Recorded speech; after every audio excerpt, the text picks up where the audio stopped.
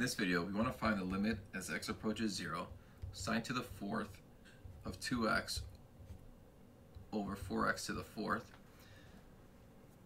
So the way to think about this is we want uh, to factor out the exponent. So ideally, we want to write like this, sine of 2x over 2x.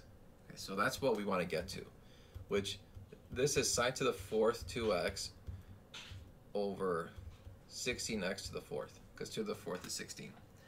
So I want to replace the 4 here with the 16. So what I need to do is multiply this on the bottom by 4, and then I also have to multiply the top by 4 to cancel it out. So have limit as x approaches 0. Now this 4 is going to come outside, so that's 4 times the limit, then sine to the fourth 2x over 16x to the fourth. And then I can factor out the fourth power and sine 2x over 2x all raised to the fourth power, which I can even pull out the exponent and I just take the limit as x approaches 0 of sine 2x over 2x.